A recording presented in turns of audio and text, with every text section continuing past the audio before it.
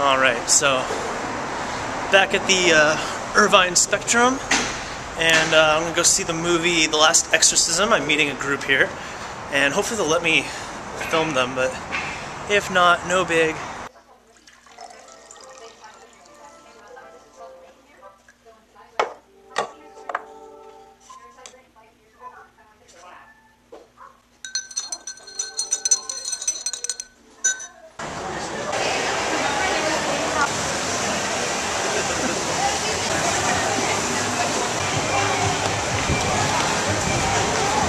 Strawberry fields forever. Strawberry fields. Excited for the movie? I'm really excited for the movie. It's PG-13, so I hope it's scary and not just for kids.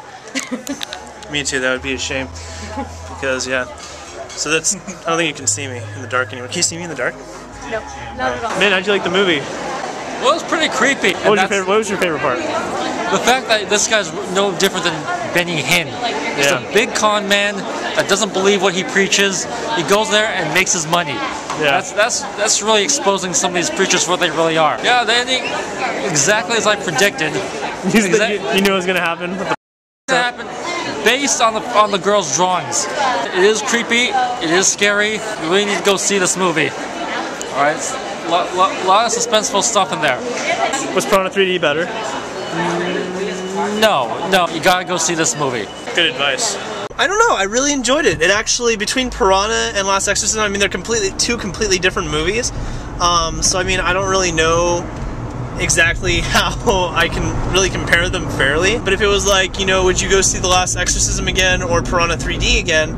I would probably say The Last Exorcism. The violence, it it has a lot of scare moments, and it actually it actually it's different, obviously, than the other Exorcism because you know it gets old after a while. I'm sure the same, you know, old formula. If I had to rate it, I would probably give it 7.5 out of 10. You know, it had its moments. The ending might, it'll either piss you off or like scare the crap out of you. And it didn't scare me, but it was like, it was fun. I really enjoyed it. I'm really into like fun endings, and the ending was definitely a good one.